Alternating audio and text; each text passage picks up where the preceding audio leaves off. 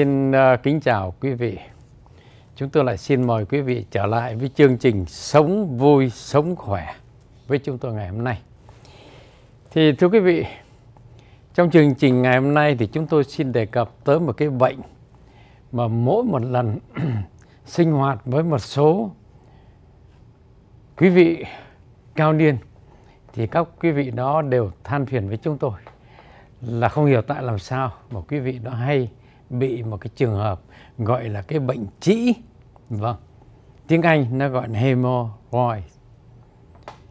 Thì thưa quý vị, quả tình là trĩ là một cái trường hợp mà nó cũng hết sức là phổ biến, đặc biệt ở những người cao tuổi và đặc biệt là những cái quốc gia mà trong đó dân chúng tiêu thụ thịt động vật một cách quá nhiều và thường thường thì chúng ta vẫn cứ nghe nói đến một cái câu gọi là táo bón bệnh trĩ. Thì thưa quý vị có lẽ là giữa cái táo bón với cái bệnh trĩ nó có một cái liên hệ gì đó với nhau. Thì thưa quý vị, theo định nghĩa thì trĩ là những cái mạch máu ở hậu môn nó bị sưng to lên. Nó bị sưng to lên. Và những cái tĩnh mạch đó nó có thể sưng to và nó nằm ở bên trong hoặc là ở bên ngoài cái hậu môn của chúng ta. Nếu ở bên trong thì nó gọi là trĩ nội và nếu nó nằm ở bên ngoài thì gọi là trĩ ngoại. Và có những cái trường hợp cả hai loại trĩ nội và ngoại cùng xảy ra một lúc. Đây là cái hình ảnh của một cái mô hình của cái hậu môn của chúng ta. Thì đây là cái trĩ nó nằm ở bên ngoài, gọi là trĩ ngoại. Và đây là cái trĩ nằm ở bên trong, trên cái hậu môn của chúng ta, thì gọi là trĩ nội. Nó giản dị có như vậy thôi. Nhưng mà thưa quý vị, nó cũng gây ra rất nhiều cái khó khăn cho người bệnh. Thế thì chúng ta nói rằng thì là trĩ là tại vì những cái mạch máu ở hậu môn của chúng ta nó bị sưng lên thì tại làm sao thì tự nhiên nó lại sưng lên? Là tại vì thưa quý vị, nó có cái sức ép ở phần dưới của cái trực tràng. Nó đè vào những cái mạch máu đó, nó làm cho cái mạch máu nó căng lên và nó sưng lên, nó tích tụ máu ở trong đó. Và những cái trường hợp này đó thì thưa quý vị, như chúng tôi đã trình bày nó rất thường xảy ra ở người cao tuổi. Là tại vì ở người cao tuổi, những cái mô bào mà nó hỗ trợ cho những cái tĩnh mạch đó, nó bị yếu, nó bị giãn ra một cách hết sức là dễ dàng. Rồi máu dồn vào đó, thành ra nó đưa tới những cái búi trĩ ở đó. Thế thì tại làm sao mà nó lại đưa tới cái trường hợp mà gọi là mạch máu nó sưng lên như vậy hoặc là cái áp lực nó tăng lên như vậy? Thì thưa quý vị, rất là giản dị có nhiều trường hợp người ta đi đại tiện, người ta ngồi lâu, người ta dặn nhiều quá, thì cái áp suất ở trong cái dụ bụng của mình nó cũng tăng lên hết cao. Nhiều có những người ngồi lâu trên cái bàn cầu, có khi cả nửa giờ đồng hồ đọc sách, thì thưa quý vị, cái trường hợp đó nó cũng là một cái rủi ro mà nó đưa tới cái trường hợp mà trĩ, hoặc là có những cái trường hợp bị táo bón kinh niên. Thì thưa quý vị, đấy là một cái nguyên nhân thường xảy ra. Ở những người mập phì hoặc những người có thai thì thưa quý vị cái sức ép ở trong bụng xuống những cái mạch máu nó cũng nhiều hơn thành ra nó làm cho nó sưng lên nó phình ra. Và những cái trường hợp mà gọi là giao hợp cái hậu môn đó, thì thưa quý vị nó cũng đưa tới trường hợp trĩ cũng như là đặc biệt là những trường hợp dinh dưỡng mà không có ăn nhiều chất xơ thì thưa quý vị nó cũng có thể đưa tới những cái trường hợp mà gây ra cái áp lực ở trong cái ruột của mình và nó gây ra trường hợp bị trĩ. Thì như chúng tôi đã trình bày bệnh trĩ là một cái bệnh rất thường xảy ra 50% dân dân chúng bị trĩ ở cái tuổi 50 tuổi ở cái tuổi trẻ. Thì những cái bắp thịt ở hậu môn nó còn chắc nó còn vững thành ra nó có thể đỡ được cho những tĩnh mạch. Ở người cao tuổi thì những bắp thịt nó, nó yếu đi thành ra nó dễ bị sệ những cái đó ra và nhiều nhất là từ 45 cho tới 65 tuổi và những người phụ nữ có thai thì thường thường bị trĩ nhưng mà sau đó sau khi sanh rồi thì thưa quý vị cái trĩ thường nó giải quyết ngay. Bây giờ chúng tôi xin nói về cái trĩ nội. Thì thưa quý vị, trĩ nội tức là nó nằm đây là cái hậu môn, cái đường ở hậu môn của chúng ta. Cái đường dưới. Đây là trĩ nội tức nó nằm ở bên trên, ở trên cái đường này nó nằm ở trong, tức là nhiều khi chúng ta không nhìn thấy được. Nhưng mà đôi khi thì thưa quý vị nó cũng có thể lòi ra ngoài. Và nhiều khi thì nó cũng có thể tự nó mà nó có thể đẩy lên được. Đây là cái chỉ mà nó lòi ra ngoài. Đó, cái chỉ nội mà nó lòi ra ngoài. Trong khi đó ở ngoài thì nó cái mạch máu ở ngay đây nó bị phình ra còn ở đây thì nó từ trên này nó phình ra rồi nó lòi ra bên ngoài rõ hơn về cái hình ảnh của cái chỉ chỉ nội nòi ra ngoài và chỉ ngoại nằm ở bên đây. Những cái mạch máu ở xung quanh cái hậu môn nó nở ra, nó thành cái chỉ như thế này.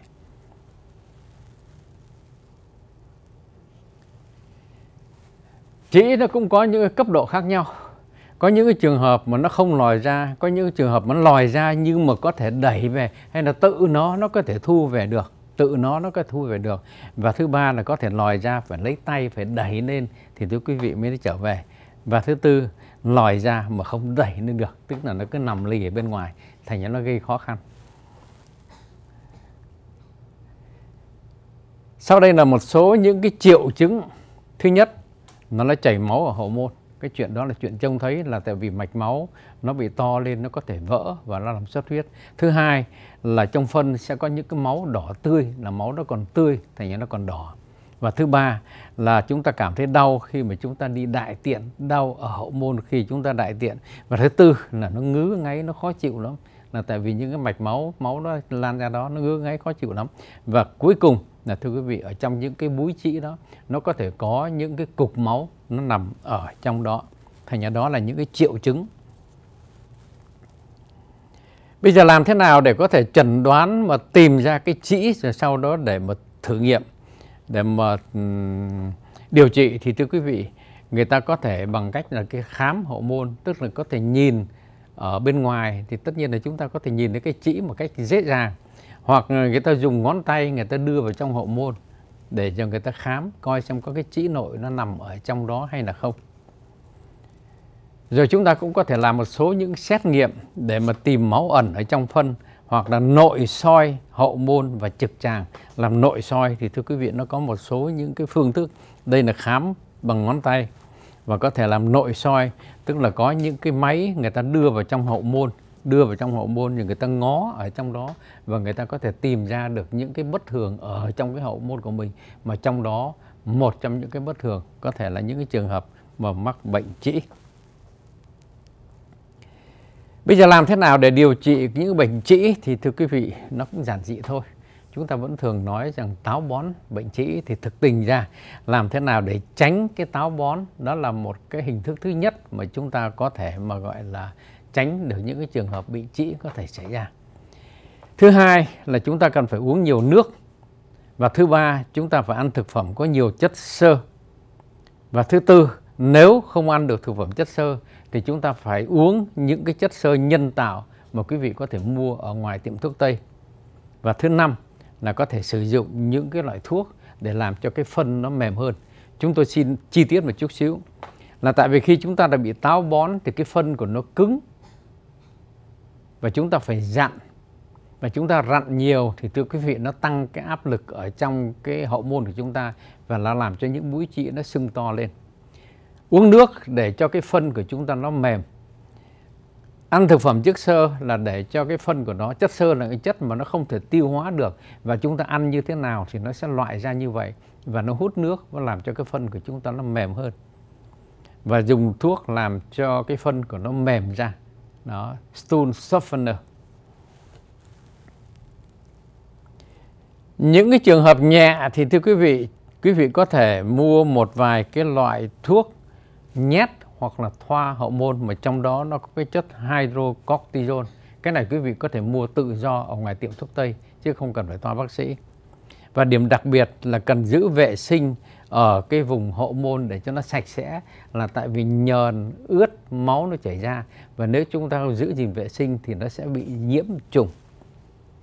Thứ ba là chúng ta có thể ngâm hậu môn ở trong cái nước ấm nó gọi là sit back đó, thưa quý vị. Để làm gì? Để cho nó làm bớt đau.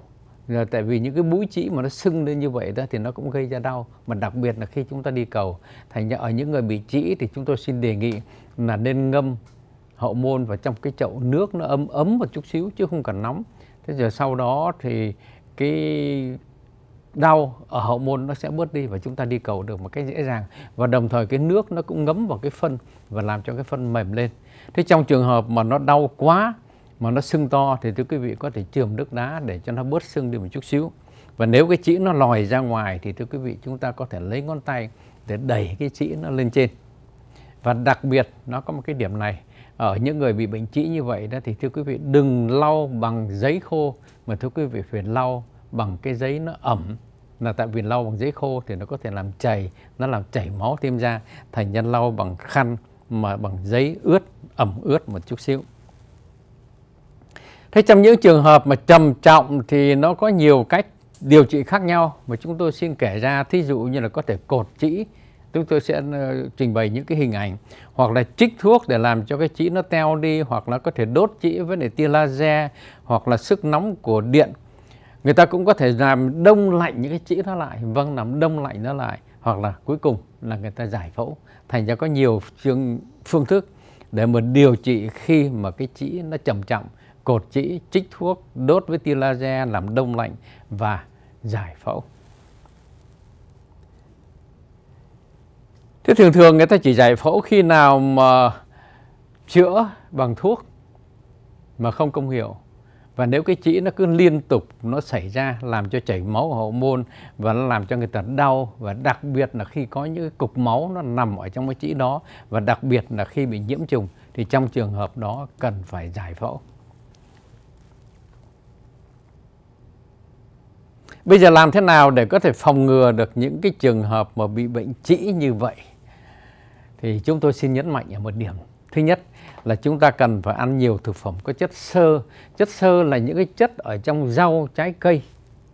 Mà những cái chất đó không tiêu hóa khi mà chúng ta ăn vào như thế nào thì những cái sợi xơ đó nó ra ngoài và nó hút rất nhiều nước thành ra làm cho cái phân của mình nó mềm đi cũng giống như con trâu con bò mà nó ăn cỏ nhiều đó thì quý vị thấy rằng cái phân của nó rất là mềm có khi rất là lỏng thứ hai là uống nhiều nước để cho cái phân của mình nó mềm đi và thứ ba là nếu không ăn được chất xơ thì thưa quý vị, dùng thêm chất xơ nhân tạo, vận động cơ thể cũng giúp cho cái sự mà gọi là di chuyển của thực chất bã ở trong cái dạ cái ruột già của mình nó ra ngoài được cái dễ dàng.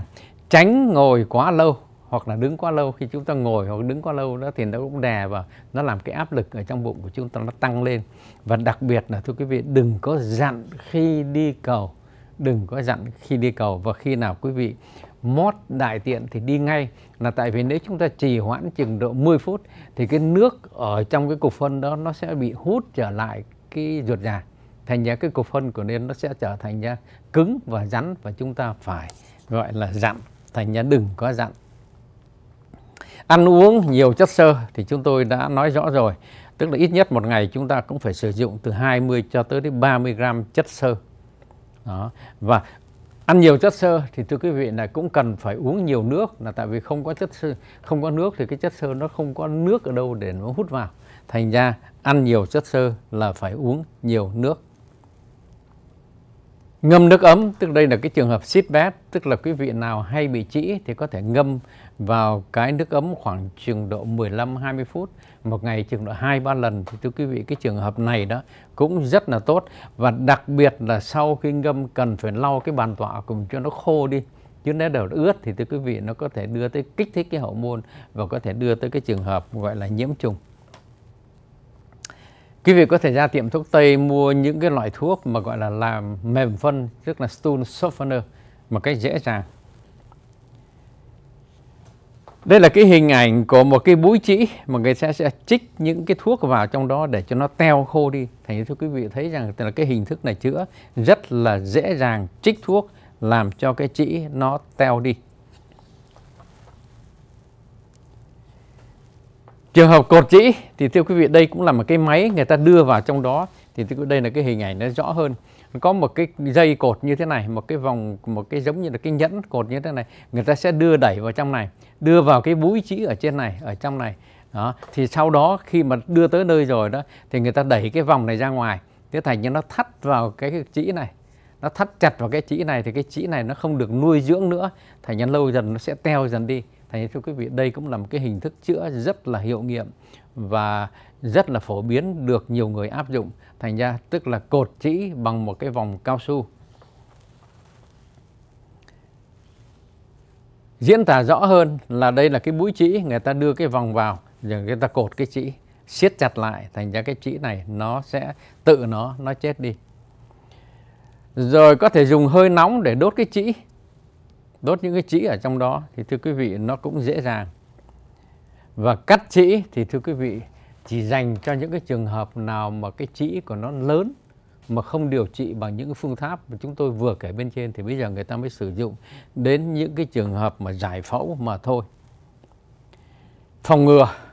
Vâng, thưa quý vị, cái phòng ngừa là cái vấn đề quan hệ tại vì phòng bệnh vẫn quan trọng quan trọng hơn là chữa bệnh là tại vì để nó xảy ra rồi mới chữa thì thưa quý vị nhiều khi nó cũng vất vả và để tốn kém tránh táo bón đó là cái điều thứ nhất ăn nhiều chất xơ uống nhiều nước vận động cơ thể dùng thuốc làm cho cái phân nó mềm mềm. Và đặc biệt là khi đi khi mót đó, thì đi cầu ngay tức thì đó là cái điểm mà chúng tôi xin nhấn mạnh. Chúng ta chỉ trì hoãn chừng được 10 phút là nước ở trong phân nó sẽ được hút lại và cái cục phân của chúng ta nó sẽ trở lên hết sức là cứng rắn và chúng ta phải dặn đây là một cái phương thức mà ngày xưa Ờ, ở bên Việt Nam chúng ta vẫn hay áp dụng là những cái cầu tiêu gọi là ngồi trồm hổm trên đó. Thì thưa quý vị khi chúng ta ngồi trồm hổm như vậy hay là ngồi xổm đó thì nó sẽ tăng cái áp suất ở trong này và nó sẽ làm đẩy cái phân của chúng ta nó ra dễ dàng. Thành cái đây cũng là một cái phương thức cổ điển mà có lẽ Mỹ bây giờ người ta nhập cảng vào nước Mỹ để mà um, áp dụng trong những cái trường hợp mà bị bệnh trĩ để cho cái phân nó ra một cách dễ dàng. Và đặc biệt là thưa quý vị khi đi cầu mà nó có táo bón thì chúng ta chữa, đừng có ngồi mà dặn. Càng ngồi dặn thì thưa quý vị, cái cục, cái búi chỉ nó càng bị đè ép vào nhiều và nó càng nở to, nó càng sưng lên và nó gây ra cái chỉ mà nó rất là trầm trọng cho cơ thể của chúng ta. Và khi bị chỉ thì thường thường ngồi nó rất đau. Thì xin đề nghị với quý vị có thể mua lấy những cái vật dụng như thế này để ngồi vào trong đó, thì như vậy nó mềm hơn và nó đỡ đau khi mà chúng ta bị bệnh chỉ quý vị có thể thoa thuốc, những cái thuốc này có thể mua ở tiệm thuốc tây một cách dễ dàng, những cái loại kem thoa hoặc là những cái viên thuốc mà gọi là nhét vào hậu môn thì thưa quý vị, nó rất là dễ dàng. Đặc biệt chúng tôi xin nhấn mạnh, ăn nhiều rau, thứ nhất uống nhiều nước, thứ hai và thứ ba sit bath tức là ngâm ở trong nước ấm. Và thứ tư là đừng ngồi lâu trong cầu tiêu. Là tại vì chúng ta ngồi càng lâu thì cái sức ép vào trong cái tĩnh mạch nó càng ngày càng cao. Và thưa quý vị, đó là tóm tắt về cái trường hợp mà gọi là táo bón bệnh trĩ là một bệnh hết sức là thông thường. Và chúng tôi hy vọng rằng với những cái hiểu biết mà chúng tôi mới trình bày, chúng ta có thể áp dụng và chúng ta có thể tránh được một cái rủi ro thường xảy ra, đó là táo bón bệnh trĩ. Chúng tôi xin chào tạm biệt quý vị thính giả và chúng tôi xin hẹn với quý vị trong những chương trình kỳ tới sống vui sống khỏe.